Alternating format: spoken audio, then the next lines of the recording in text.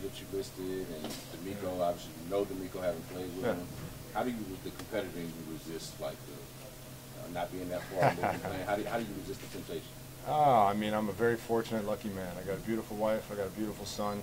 I've had 12 great years in this league, and I've, I'm very thankful to have walked away healthy and playing great. Um, I mean, I told DeMeco last year. I said, "Don't call unless you absolutely need it. But if you ever do call, I'll be there." Um, he knows not to call unless he absolutely needs it. Um, this is the last year I'll tell him that because I'm not going to keep training the way I've been training. But uh, he knows that if he ever truly does need it, I'll be there for him. But I don't anticipate that happening. They got a very good crew.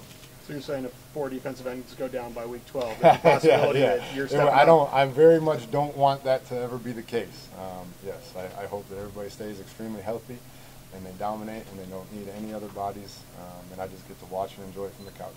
Did you have